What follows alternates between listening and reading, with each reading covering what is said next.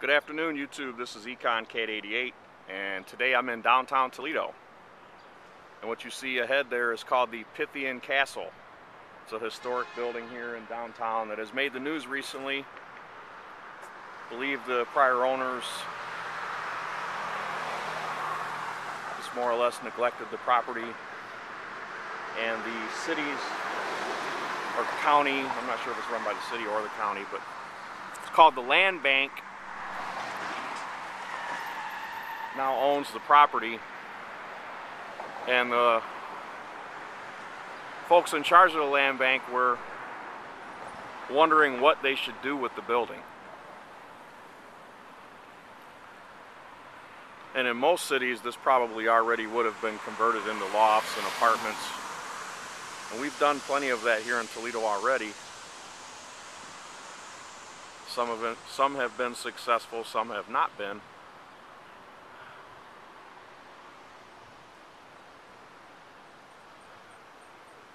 The Knights of Pythians, I believe, is an organization that was similar but much smaller than the Freemasons once upon a time. Freemasons, Knights of Columbus, more or less like a like a private club. You can see the sign there built in 1890 I'm not sure what this hygienic dress league is about, but what do you think should be done with this building? Should it see the wrecking ball? Should it be restored? Should the city and or county have anything to do with owning it? How much would you pay for it? A lot of the questions that are being asked here recently. Next door here is another historic building. We'll get a look at that. I'm on the corner of North Ontario and Jefferson. This used to be Caesar's uh, show bar. It's been closed for many years. Here's another look at the Pythian Castle from the side. Really a cool building. Another look at the old Caesars building.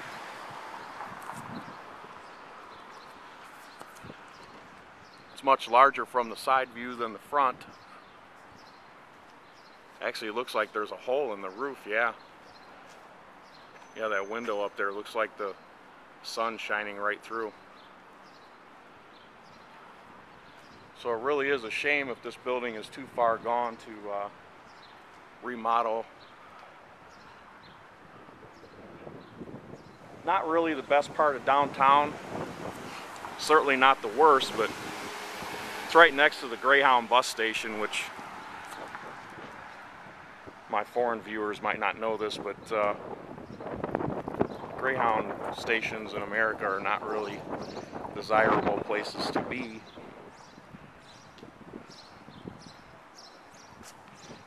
That's the Greyhound parking lot that you see there in the terminals.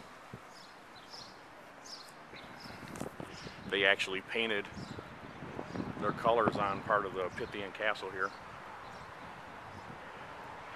Really would be cool to get inside, but I'm not going to do that because first of all I don't know how to get in and secondly I probably would get arrested or fall through the floorboard, who knows.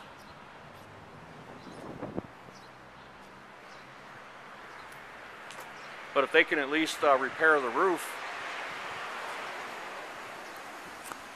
the building probably can be saved. Yeah, push the door, it's sealed as I expected it to be. Somebody's been in there because some of the windows are knocked out.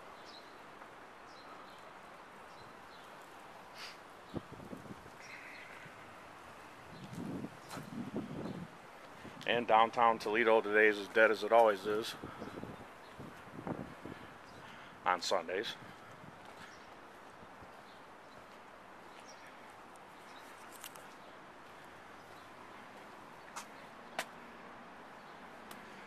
Was built at the at the onset of Toledo's industrial might. America's industrial might. Still have no idea what this, uh, this is really about. Just pointing out the equipment that those folks are wearing. So I don't know how long it's been since this building was occupied.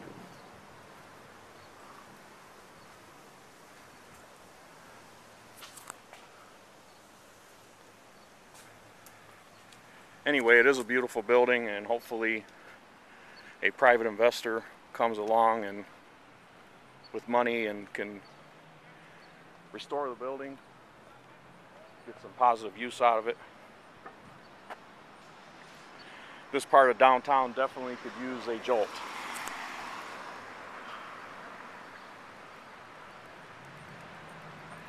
Some of the other buildings here in downtown.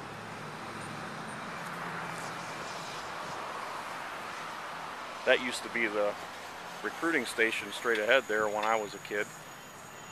It's been long gone.